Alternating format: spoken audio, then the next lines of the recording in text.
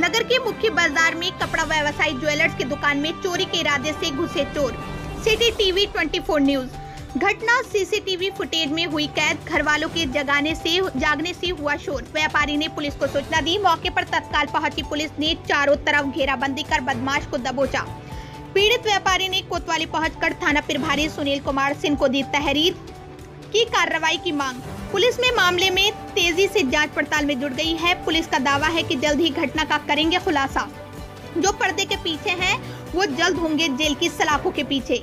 सूत्रों से मिली जानकारी के अनुसार ये बदमाश गैर जनपद के बताए जा रहे हैं। यहाँ रेकी कर चोरी की घटना को देते थे अंजाम। भागने की फिराक में था बदमाश। परिवार वालों की सूझबूझ, लाई रंग चारों तरफ़ के दरवाजे कर दिए थे लॉक बिलग्राम नगर के सामुदायिक स्वास्थ्य केंद्र के सामने का मामला। आइए देखते हैं पूरी रिपोर्ट हरदोई से हमारे खास crime bureau chief Shubham Tiwari के साथ।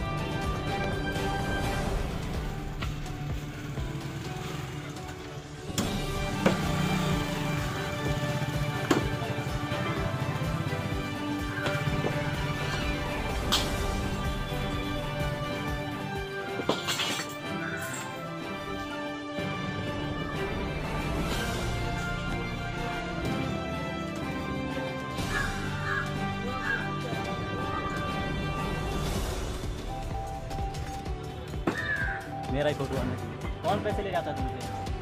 क्या? तो कौन पैसे ले जाता है? बच्चा ले जाते हैं। कितने ले जाते हैं? दस रुपये बाज़ार दस रुपये बाज़ार सारे लोग देते होंगे यहाँ? सभी दुकानदार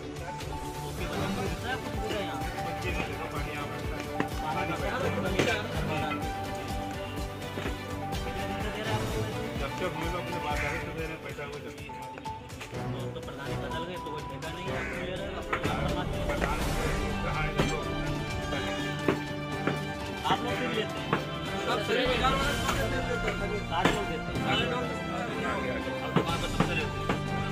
कितने लोग हैं इसमें?